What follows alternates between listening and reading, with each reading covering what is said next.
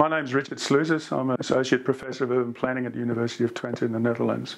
And this lecture is going to be about the implications of geospatial technologies for slum mapping. I'm going to start first by talking about the nature of slums and give a couple of examples of different types of slum maps. Then I'll look at the technology and then I'll look at who's making the maps and how these are being made. Now, the nature of slums and slum dwellers was actually uh, discussed by an expert group meeting in, by, organised by UN Habitat in 2002, and it came up with sort of five main indicators, issues, which can be used to define who a slum dweller is.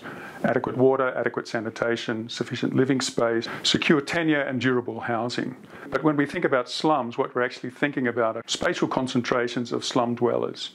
And these take place in different contexts with different characteristics. So you can see here on these slides four different situations from Uganda, from Kenya, from Egypt, and India, all having a different morphology with different building materials, uh, different densities and types, as, types of housing.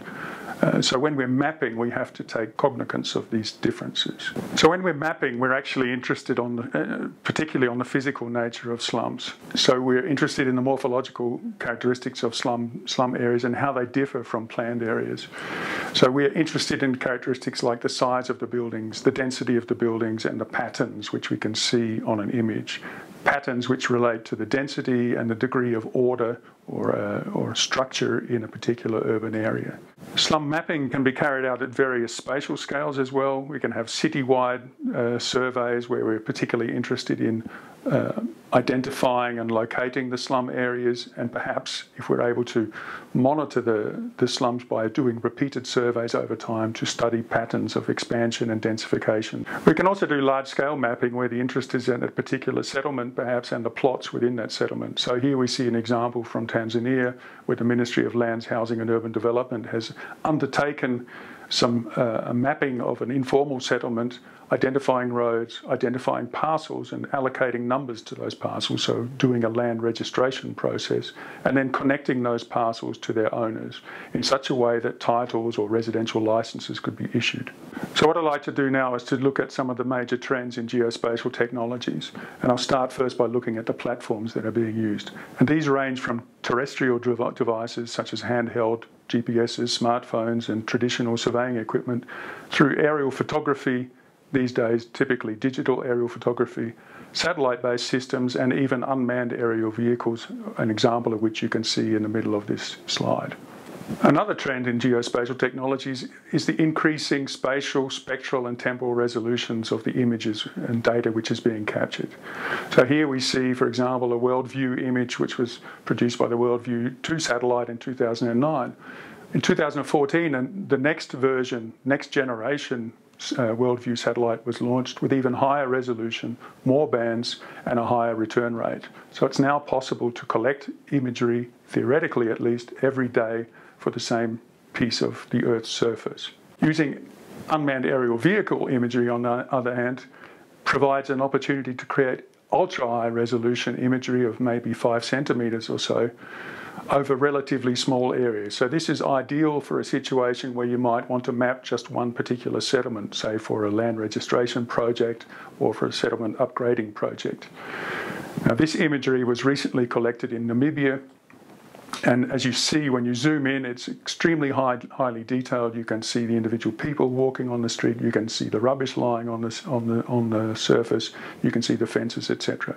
But more than that, it's possible to use this technology to actually generate highly accurate, highly detailed two and three dimensional models of the area in such a way that you can actually use the model for doing detailed runoff analysis, for example, if this was an unplanned area, for example, which had a flooding problem and you wanted to plan the, the drainage system in a better way.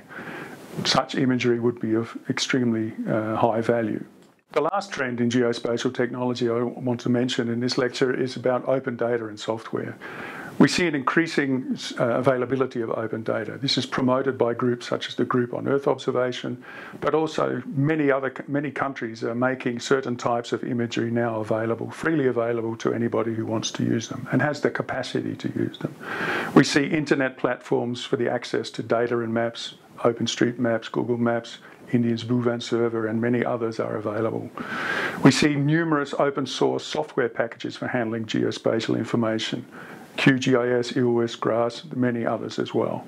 And we see also advanced methods for data data fusion, dense image matching, and other methods to improve data extraction and the quality of data which is being extracted. Let's move now and think about who, who the slum mappers actually are. And I've identified four broad communities, two of which are professional. There's the professional public agencies who are making, producing data and providing mapping services.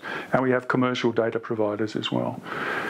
in addition, we have academic researchers who are primarily interested in developing new technologies and methods for mapping, and including that in, in that as well, slum mapping. And we have the NGO, CBO communities who are very much involved in participatory approaches and the empowerment of these uh, of the slum dwellers themselves. In the lecture, I'm going to concentrate only on the last two, and I'll give a few examples of what's going on at present in these areas. In the research domain, what we see is a move from pixel based analysis of imagery to object based image extraction.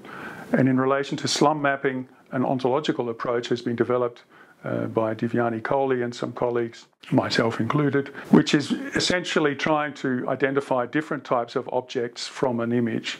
We have the base objects, the buildings and the roads and other detailed features. We have the settlements, so you could say the slum settlement as an entity or object. And we're interested in its shape, its degree of order, spatial order, its density, and things like that. And we have the environs of the settlement where we're interested in its location and the neighbourhood characteristics. So, what we try to do with geographic uh, object based image analysis is actually the first thing is to segment the image into chunks or segments which are somehow homogeneous in terms of their spectral and spatial properties. These can then be classified, as we see here on the right, in this case showing they are classified into buildings, and these buildings can then be further analysed in terms of their shape properties, sizes, etc., and then aggregated up to a higher, higher spatial level, such as the settlement.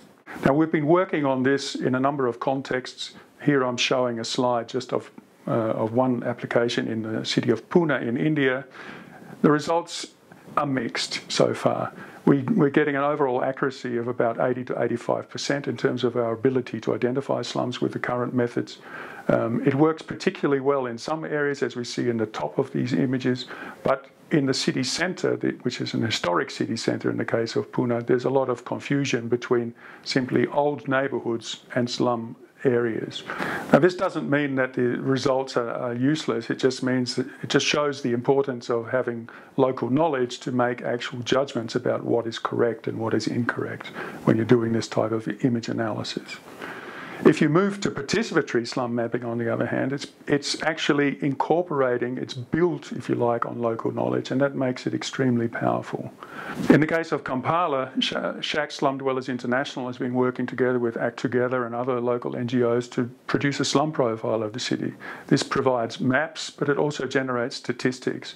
And this example is actually already, you can find out more about it by looking at the lecture of Sheela Patel, which was recorded also in this series. This data from Kampala is going to be made available together with data from other participating cities. So access to slum data will be will be gradually improving over time as as further studies are carried out. Another good example is Map Kibera project, where residents armed with GPSs were, went out and mapped the streets of their community, which was otherwise poorly mapped. And in addition to mapping the streets, they also located the important community facilities, water points, health centres, and those types of uh, facilities. But it's not only NGOs and CBOs that use participatory approaches, governments too can also do it. Uh, in Cairo, GTZ uh, helped the Egyptian government and the governorates of Cairo to work together and build an information database based on imagery, which also made use of participatory approaches and it enabled them to map over a period of time, over 50 years, to show how informal settlements had expanded in the city and then to target those settlements which were particularly in need of attention, making more detailed maps in the process, such as the map we see here in Masjid Nasser, which was used for upgrading of that settlement. So, in summing up, what all of these examples are showing is that there's an enormous range of developments in geospatial technologies that create many, many opportunities for slum mapping and for slum mappers to, um, to become involved. We have automatic slum identification and delineation for characterizing uh, slums in different contexts. This is a rapidly developing research field, but it's not yet fully operational. But watch this space. It'll get better and better as time goes on. And perhaps within five years, we will have operational tools. Perhaps more important than the technological issues, though, are the social and institutional issues related to slum mapping. Governments have the power to recognize and legitimize community-based slum mapping or to reject it, and as well to open their spatial databases to their citizens. Now these choices are crucial to engage citizens as partners in urban planning and management. It's also important to realise that mapping and slum mapping is not a one-off exercise. Slums change rapidly, so we need to create and maintain the data on slums think in terms also not of just of maps, but think in terms of databases. Databases which can be used to monitor and analyze the development process as it happens in cities. And building the knowledge and capacity and actions are more important perhaps than actual the geospatial technologies and the maps themselves. Thank you very much.